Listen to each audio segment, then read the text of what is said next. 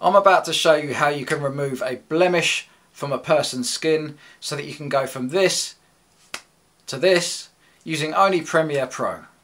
So I've brought the clip into my timeline here and what I want to do is I actually want to cut it into two separate clips because in the first clip it obviously shows uh, the mark being there and then when I click my fingers the mark disappears. So I'm going to have two separate clips so I'll leave the first one. This is the point here where I click my fingers. So I'll only remove the mark or blemish after that point.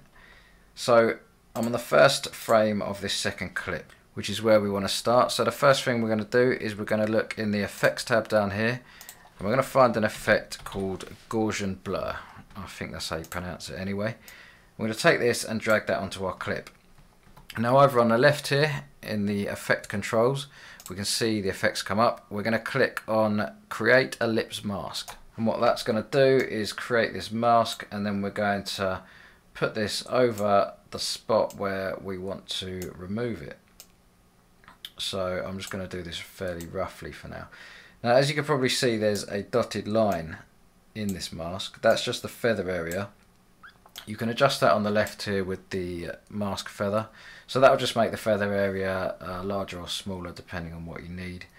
But again for now we're just going to keep this fairly simple so that is uh, pretty much all we're going to do to keep that like that.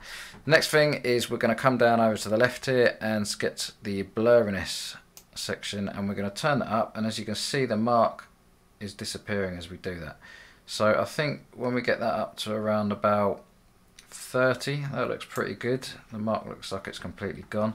But what's happened now is that is uh, it's removed the mark on the first frame of this clip so we want it to remove it on the whole of the clip. So what we're going to do is click this here, track selected mask forward. Now what that's going to do is it's going to automatically track that blemish on my face and it's going to move the selected area with it. You can also track things backwards if it's easier for you. And usually this works pretty good. If it hasn't, you can actually go back and you can adjust some of the frames manually. But as you can see there, it's followed it pretty well and I don't think there's any adjustments we need to do. So if we remove that mask now and we play it back, you can see the mark is there and as soon as I click my fingers the mark's gone. This is a brand new channel so help out and hit subscribe. I'll be doing a lot more Premiere Pro tutorials as well as that I'll be doing a lot of vlogging content and video production content in general. Thank you for watching, give it a thumbs up and I will catch you on the next one.